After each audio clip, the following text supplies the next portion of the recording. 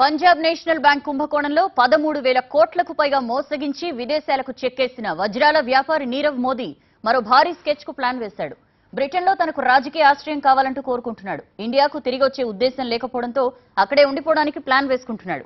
ఇప్పటికే నీరవ్ మోదీ పాస్పోర్ట్ను రద్దు చేసింది భారత్. తాజా పరిణామాలపై రాయిటర్స్ రాసిన కథనంతో కలవరం మొదలైంది. పీఎన్బీలో నీరవ్ మోదీ అతని మామ మెహుల్ చోక్సీలు కలిసి పదమూడు వేల ఐదు వందల డెబ్బై ఎనిమిది కోట్ల మోసానికి పాల్పడ్డారు. మోసం వెలుగులోకి రాకముందే విదేశాలకు చెక్కేసిన నీరవ్ ప్రస్తుతం లండన్లో ఉంటూ అక్కడ పొలిటికల్ ప్రాసిక్యూషన్ పేరుతో ఆశ్రయం కోసం ప్రయత్నిస్తున్నట్లు తెలిసింది.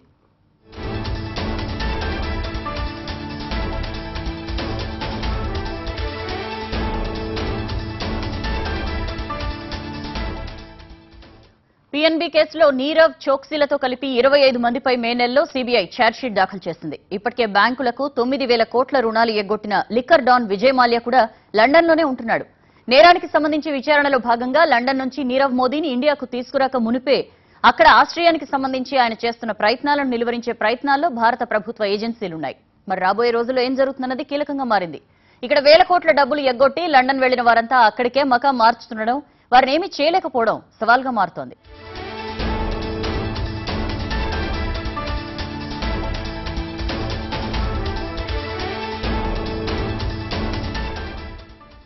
బ్రిటన్ రాజకీయ ఆశ్రయం కోసం ప్రయత్నిస్తున్న నీరవ్ మోదీ వ్యవహారంపై మరిన్ని వివరాలు మా ప్రతినిధి ప్రదీప్ అందిస్తారు.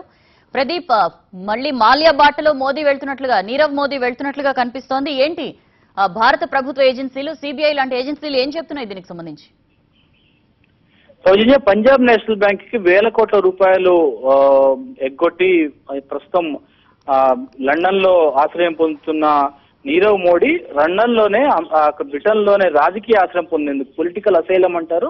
రాజకీయ ఆశ్రయం అంటే ఒక దేశం నుంచి తనకు పూర్తి స్థాయిలో రక్షణ లేని పక్షంలో కొంతకాలం పాటు ఆ దేశంలో ఉండేందుకు గాను ఆ దేశ అనుమతి కోరడాన్ని పొలిటికల్ అసైలం అంటారు. అటువంటి అసైలం కోసం నీరవ్ మోదీ ప్రయత్నం చేస్తున్నట్టుగా తాజాగా వార్తల్లోకి రావడం అనేది ఇప్పుడు చర్చనీయాంశమైన అంశంగా భావించాల్సి ఉంటుంది. నీరవ్ మోడీని తిరిగి భారత్కు తీసుకొచ్చేందుకు ఇప్పటికే భారత విదేశాంగ శాఖ అలాగే ఇక్కడి కోర్టుల ఆ ఉత్తర్వులన్నిటి కూడా లండన్కి పంపించినప్పటికీ తర్వాత నీరవ్ మోడీ చేస్తున్న ప్రయత్నాలు గమనించాల్సి ఉంటుంది. దీంట్లో ఒకవేళ ఆయనకు రాజకీయ ఆశ్రయం కావాలంటే కనుక అందుకు అవసరమైన ఆధారాలు చూపించాల్సి ఉంటుంది. భారతదేశంలో తనకు వ్యతిరేకంగా తీసుకున్న కోర్టు ఉత్తర్వులు కానివ్వండి అక్కడికి వెళ్తే తనకు పూర్తి స్థాయిలో న్యాయం జరగదు కాబట్టి అప్పటి వరకు ఆశ్రయం కల్పించాలని స్థానిక ఆయన ప్రస్తుతం ఉంటున్న దేశ దేశ ప్రభుత్వాన్ని ఆయన కోరే అవకాశం ఉంటుంది. అయితే అటువంటి ఆశ్రయాన్ని కల్పించడానికి బ్రిటన్ ప్రభుత్వం అంగీకరిస్తుందా లేదా అనేది కూడా ఇక్కడ ప్రధానమైన ప్రశ్నగా భావించాల్సి ఉంటుంది. పొలిటికల్ అసైలం ఏదైనా ఎప్పుడైనా సరే రెండు దేశాలకు మధ్య ఉండే సంబంధాలను బట్టి ఆయా దేశం మంజూరు చేయడం ఉంటుంది.